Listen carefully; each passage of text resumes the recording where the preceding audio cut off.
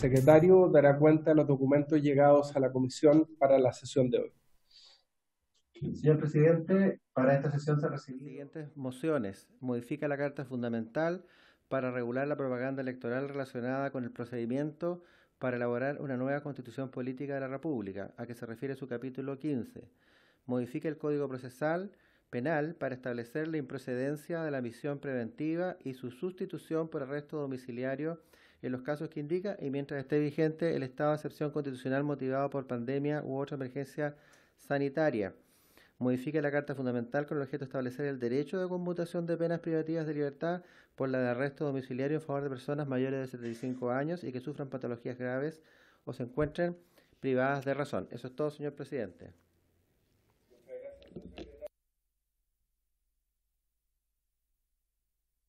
La mano levantada. Sí, acá lo veo. Diputado Jorge Alessandri. sobre el mecanismo técnico entiendo cómo uno levanta la mano, pero solo quería saber si a usted le aparece el orden en que la gente levantó la mano. ¿Le aparece? Eh, ¿O le aparecen no, todas las manos? El orden no me aparece, pero yo eh, lo estoy viendo al lado derecho del monitor, así que puedo identificar quién me pidió la palabra antes. Podemos, podemos hacer una prueba si quiere. El diputado Alessandri puede pedir la palabra primero antes que el diputado Cruzcoque. Sí, la, estoy, la, la tengo en este momento. pedía. Ahora el diputado Cruzcoque puede pedir la palabra, por favor. Virtualmente. Y después la diputada Flores. Claro, lo que pasa es que me van apareciendo y, y claro, tienen que Ahí van hacer quedando, van, van quedando en filitas, en orden. lo que yo les diga que estoy dando la palabra del orden de la... Claro, porque Que ahí, están, ahí pida. están- van quedando en orden. Se fija, el diputado Luciano Cruzcoque quedó so- ma- arriba y Camila Flores quedó debajo. Ah, la. Muy bien. ¿Aclarada su duda técnica, diputado Alessandri? Aclarada. Muy bien. Eh, sobre la cuenta, sigo ofreciendo la palabra.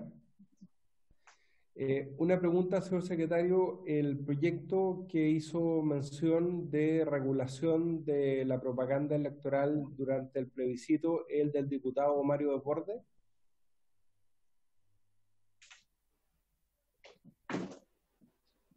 Vamos a tener que... Vamos a tener que verificar, señor presidente. Aquí tenemos la carpeta. ¿La tiene por ahí? Sí, la tenemos acá. Vamos a ver.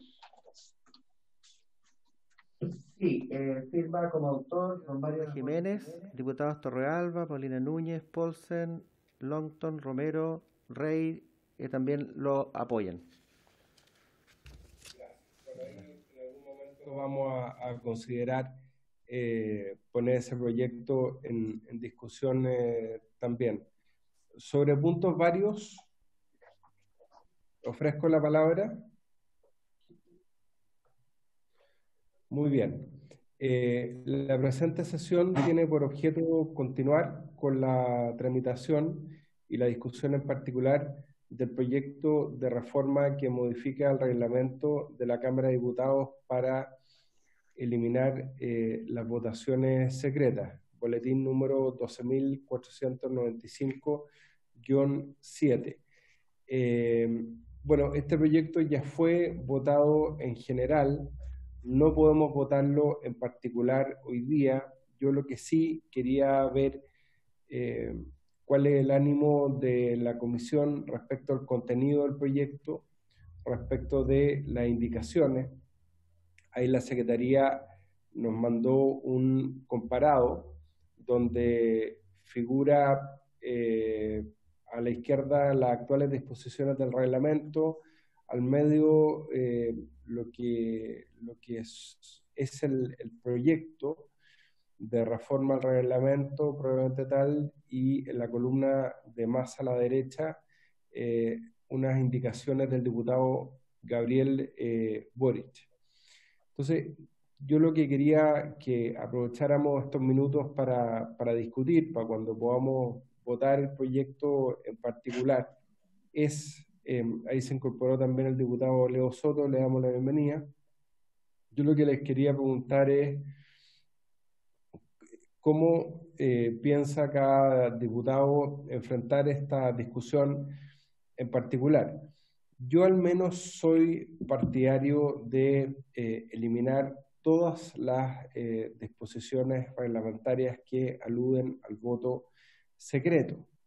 Eh, otros se han manifestado partidarios de eliminar solo eh, la disposición del artículo 45 en relación a la votación de la mesa de la Cámara. Hemos tenido distintas opiniones, recibimos la opinión del secretario general, don Miguel Landero, donde él manifestaba que era partidario de mantener algunas votaciones eh, secretas, sobre todo donde no hay donde hay normas expresas en ley orgánica constitucional, por ejemplo, en materia de tratados internacionales.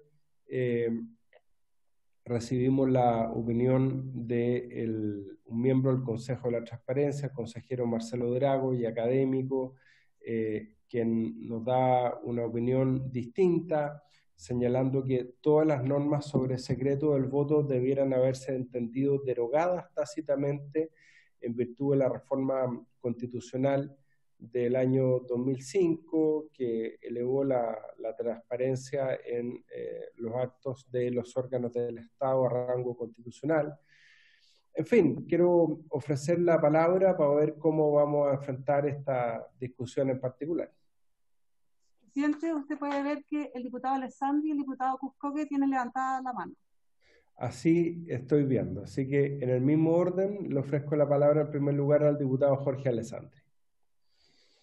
Muchas gracias, presidente. Primero preguntarle al secretario si habrían ingresado unas indicaciones de renovación eh, nacional, porque se había comentado la semana pasada que además de las de Boric, habrían unas de renovación eh, que iban a ingresar creo que el sentido en que iban, o al menos que estaban trabajando, era que se eliminaba el secreto en las votaciones de la mesa, pero para el siguiente año, para el siguiente periodo, para no estar legislando para el caso particular. Más allá de eso, sobre la definición que usted pide, yo por los argumentos que puse la vez anterior eh, y los ejemplos que di de los consejos municipales, de, del directorio de TVN, eh, del Senado de la República, en su artículo 229 de su reglamento. Creo que es importante que cuando se eligen personas representantes de ciertos cuerpos, poderes del Estado o gremios, se mantenga el voto secreto. También estoy de acuerdo con la transparencia en todo lo otro. En la Cámara también hay votaciones secretas de repente en la Comisión de Defensa, en la Comisión que, que regula los servicios de inteligencia, cuando se otorga la ciudadanía a una persona, y creo que esos casos también son atendibles, hay que ponerle atención. Creo que lo peor, si tuviéramos que hacer una graduación, lo que menos me gusta de este proyecto sería cambiar las reglas del juego para ahora, para la votación de la mesa, porque evidentemente se ensuciaría con la coyuntura de la reciente elección de la mesa. encuentro que sería menos grave, aunque de todas formas no me gusta, cambiarlo desde el próximo año o desde la próxima elección. Luego, si sacáramos el secreto de la mesa, yo lo mantendría para estas otras cosas, para efectos de la ciudadanía, alguna votación eh, importante en la Comisión de Defensa, que, que, tenga caracteres de seguridad nacional, alguna votación importante en los organismos de inteligencia. Sabemos que la Cámara tiene una comisión de inteligencia. Eh, y tampoco sacaría el secreto, tampoco me gusta eliminar el secreto para censurar, no sé cuál es la palabra exacta, o, votar, derrocar al secretario general de la corporación, al prosecretario y al abogado jefe de comisiones. Por las mismas razones que di anteriormente, si el poder ya está concentrado en el secretario general, y no me refiero al andero, sino que a los 20 anteriores y a los 20 que van a venir en el futuro, va a ser muy difícil que un parlamentario se atreva a censurar a un secretario general con la contingencia incierta de ganar o perder esa votación y de perder esa votación y de mantenerse ese secretario en funciones, después le vendrán a ese parlamentario valiente las penas del infierno. Entonces, evidentemente por algo existen estas normas y, y en ese orden de ideas creo, como he dicho, lo peor sería cambiar las reglas para la mesa ahora. También encuentro negativo cambiar temas de ciudadanía, seguridad nacional o inteligencia y también encuentro malo cambiar normas respecto al secretario general. Lo menos malo, creo yo, sería cambiar solo lo de la mesa para años venideros, no para este año y ojalá no para esta legislatura. Gracias, presidente. Muchas gracias, diputado Alessandro, y le ofrezco la palabra al diputado Luciano Cruzcoque.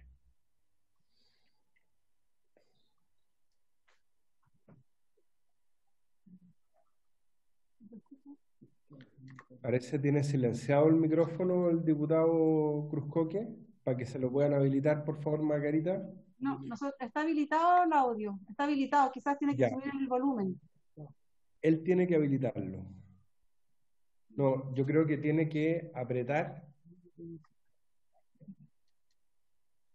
Luciano, tienes que apretar, habilitar el micrófono. No, no. En general, no debieran apretar nada de, silenciar ni habilitar los audios. Eso solo lo debiera manejar, lo debiéramos manejar nosotros desde acá. Yo en este minuto lo voy a silenciar y le voy a volver a poner reiniciar audio. A ver. Muy bien. Soporte tengo que volver a entrar. Bueno, quizás se tiene que salir. Lo van a contactar de informática, diputado Cruzcoque. Lo, están contactando en este minuto de informática para que usted pueda hablar.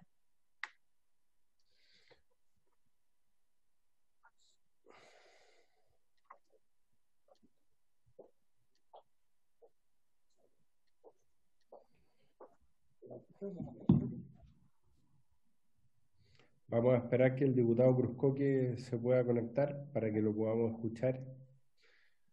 Por mientras, le recuerdo a todos que pueden levantar la mano electrónicamente en eh, el cuadro que se abre a la derecha si ustedes aprietan participantes.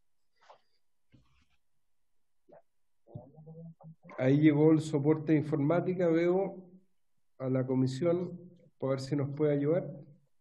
Sí, le está tratando de ubicar en este minuto al diputado eh, Cruzcoque. Oye, por mientras, por mientras se habilita el micrófono al diputado Cruzcoque, le, la Secretaría les envió a todos, y se lo acabo de enviar, al WhatsApp que tenemos en la comisión, las observaciones al proyecto que hizo el presidente del Consejo de la Transparencia don eh, Jorge Jaraquemá. Eh, bien breve, ¿cuándo llegó este informe, don Patricio? Perdón, el informe llegó la semana pasada. Ya. Eh, porque no pudo venir presencialmente y mandó su informe por escrito. Perfecto. Vamos a mandar como por, por, si no lo tenían, se los acabo de enviar a todos al, ah. al WhatsApp que tenemos en la comisión. El presidente del Consejo de la Transparencia. Vamos da... dice, sí. Ahora sí. Ahora estamos escuchando al diputado Cruzcoque. Sí, ¿se escucha ahí? Ahí sí. Ahí se escucha ya, muchas gracias. Sí, eh, presidente, eh, gracias. El, eh, yo estoy inclinado a, a, a, dejarme convencer de que, de que el voto secreto de la mesa podría ser inconstitucional y eventualmente que esto debiera estar derogado desde el año 2005 pero siento, pienso, que para que no se entienda como una maniobra, producto, qué sé yo, de que la mesa hoy día es de un signo político distinto del que se supone debía ser, creo que sería bueno que nos quedara meridianamente claro a través de la citación de distintos constitucionalistas, ojalá en, en, en una sesión que no sea telemática, para que lo hagamos con un par de sesiones y no votarlo a matacaballo eh, eh, de manera particular la próxima sesión. Creo que también eh, le da seriedad, le da un poco más de contundencia a, lo, a los argumentos, con, coincido con el diputado Alessandri y con, la, y con la indicación que iba a presentar Renovación Nacional en términos de que ojalá no aplique pa, para esta mesa, sería, sería un poco absurdo, ahí, ahí despertaría todo, tipo de sospechas y también eh, la, la, moción está, está ingresada desde, desde antes de que, de que, ocurriera esto, el hecho de tramitarlo tan, tan apuradamente puede dar una mala señal a la ciudadanía y en ese caso ahí, ahí yo, yo, yo, yo, yo siento que, que, que, me costaría más votar a favor. Gracias. Gracias, diputado Cruzcoque. Eh, ¿Se ofrece la palabra? A ver, yo voy a seguir insistiendo en eh, la necesidad de ver este proyecto en, en su integridad, eh, no, no, limitar la, la, discusión a lo que es la elección de la mesa de la Cámara, el artículo 45. Ahí el diputado Boric tiene una propuesta también que después le, podemos dar la palabra para que la explique eh, en sus indicaciones. El informe del Consejo de la Transparencia, del presidente del Consejo de la Transparencia, que no digamos que un hombre de ideas de, oposición, sino que todo lo contrario, eh, eh, es bastante clara. Eh, en general, él, señala que en opinión del Consejo para la Transparencia, no está dando su opinión personal, está dando la opinión del Consejo para la Transparencia institucionalmente, se trata de un proyecto que va en la dirección correcta al eliminar la condición de secretas de las votaciones que se lleven a cabo en la Cámara de Diputadas y Diputados y que a la fecha, conforme con la legislación vigente, tienen dicho carácter. La propuesta agrega es coherente con lo dispuesto el artículo octavo, inciso segundo de la Constitución Política de la República, el cual dispone la publicidad de los actos y resoluciones de los órganos del Estado, así como sus fundamentos y los procedimientos que utilicen. Lo anterior sin perjuicio de la procedencia de causales de secreto reserva establecidos por leyes de quórum calificado. Esa es la excepción que el, eh, que el Consejo para la Transparencia estima, por ejemplo, la votación eh, de, tratados internacionales, ¿no es cierto?, o, normas en materia de defensa que aludía el diputado eh, Alessandri.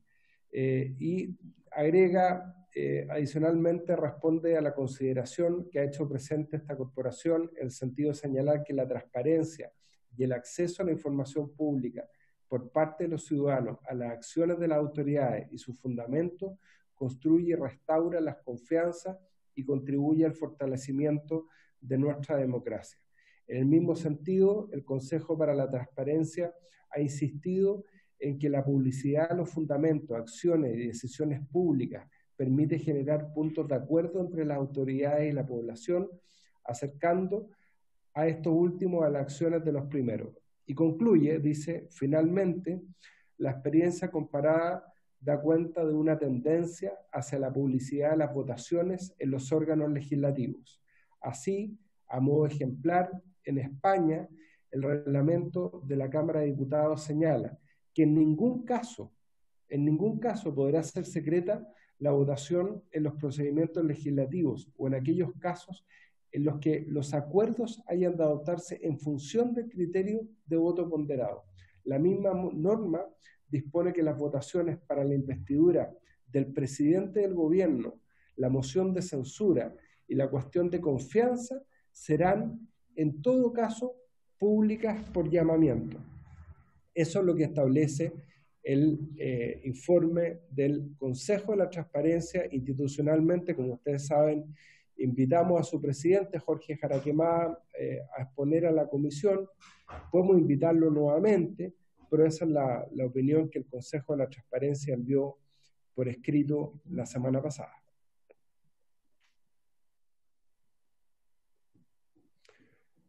Ofrezco la palabra Diputado Gabriel Boric. Diputado Boric, permiso, perdón. ¿Le puedo pedir que pida la palabra de forma virtual? Abajo, en participantes, pone levantar la mano. Muy bien. Diputado Boric, tiene la palabra.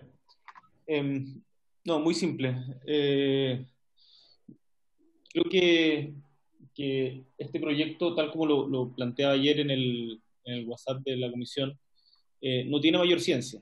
No tiene mayor ciencia, no tiene eh, mayor discusión y por lo tanto yo le quería pedir, presidente, de que la próxima sesión se cite para votar en particular y que no posterguemos más el debate. Gracias, diputado Boric. Ofrezco la palabra.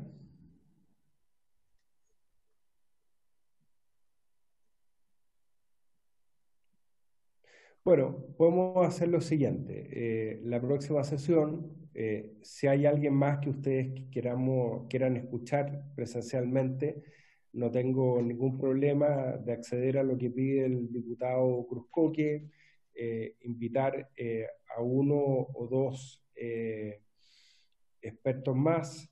Ya tenemos la opinión del Consejo de la Transparencia, de eh, Marcelo Drago como académico, experto en materia de transparencia, tenemos la opinión de, Miguel Landeros, pero si eh, los diputados proponen un par de nombres más que, podrían ayudarnos en, la votación en particular, el reglamento lo permite, y al término de esa sesión podríamos eh, votar en, particular el proyecto. Yo creo que las dos cosas son absolutamente compatibles eh, y, bueno, se pueden seguir presentando indicaciones que vamos a tener en consideración.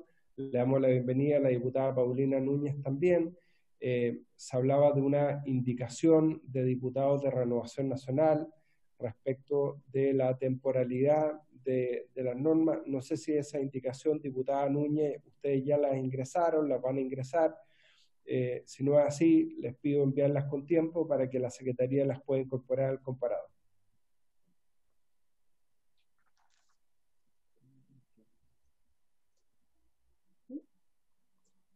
Diputada Núñez, no sé si... Ahí sí. Diputada Núñez tiene la palabra.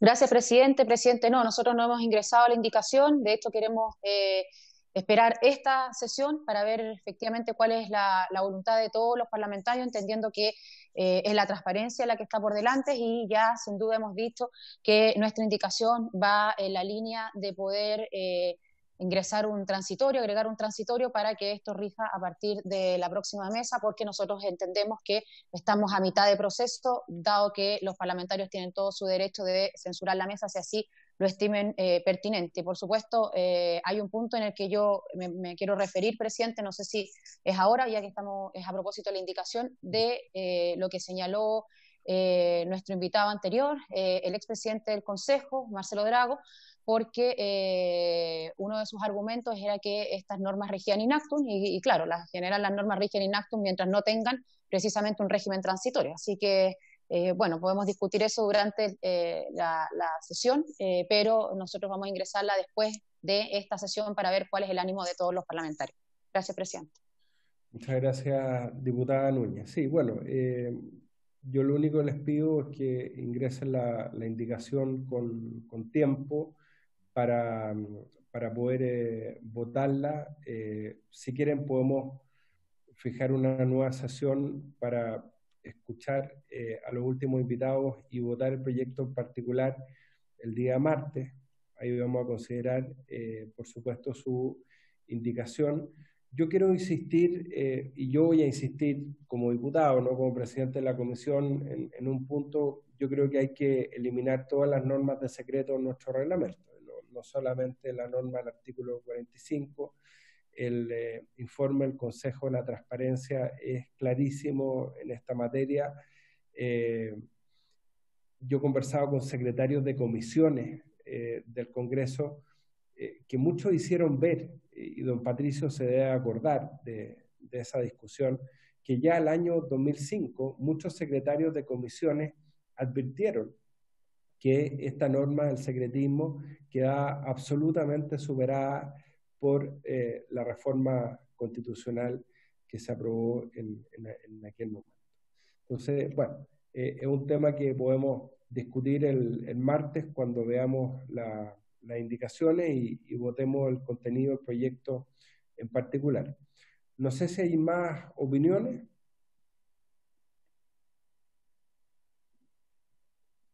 Muy bien.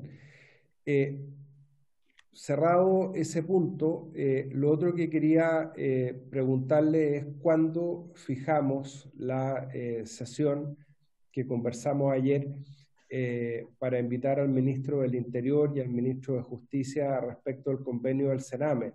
Lo digo porque hay otras dos comisiones que eh, también eh, están invitando a ministros por este tema, la Comisión de Seguridad Ciudadana y, otra más. Entonces, si hay una comisión que le corresponde poder ver este tema, es la Comisión de, de Constitución. Entonces, no sé si les parece que fijemos la sesión del lunes en forma telemática, porque no podemos sesionar en el Congreso en Santiago, como dice el secretario. Yo lo que les quiero proponer es que en esa sesión podamos escuchar al ministro de Justicia, al ministro del Interior o a quien ellos designen en relación al convenio entre el eh, y la Agencia Nacional de Inteligencia y que también podamos invitar al Consejo de la Transparencia y podamos invitar también a la defensora de las niñez. Podemos darles la posibilidad de que todos expongan vía telemática. ¿Les parece o no? Ok, así se acuerda. El diputado Entonces, está pidiendo la palabra. Por favor, le pido que la pida con su manito virtual. Ya. Ponga la manito virtual, diputado Boric, para poder identificarlo. Tiene la palabra. Eh, ¿no, ¿no, será mejor que por, por, el tiempo de los ministros que unamos las comisiones, que, o sea, que, que, que, lo abordemos todo en una misma comisión? Si no, vamos a hacer ir al ministro de Justicia a tres comisiones diferentes o, o queremos sí. hacerlo. Lo que pasa es que eso va a ser más complicado todavía, porque en la forma que estamos operando telemáticamente, eh, tampoco las otras comisiones se han coordinado con nosotros. Entonces, yo prefiero que cada uno eh, actúe dentro del ámbito de sus responsabilidades, porque las otras comisiones ya citaron a distintos invitados. Okay. Entonces, va a ser más enredado todavía. Okay. Ya, ¿lo hacemos así? Ya, entonces, lunes veríamos eh, el tema del convenio entre el Sename y la ANI. Martes, modificación al reglamento y el miércoles, eh, si les parece, podríamos seguir con eh, servicio de reinserción juvenil, que está con, con suma urgencia. Muy bien. Así se acuerda y por haberse cumplido el objeto de la sesión se levanta. Muchas gracias a todos.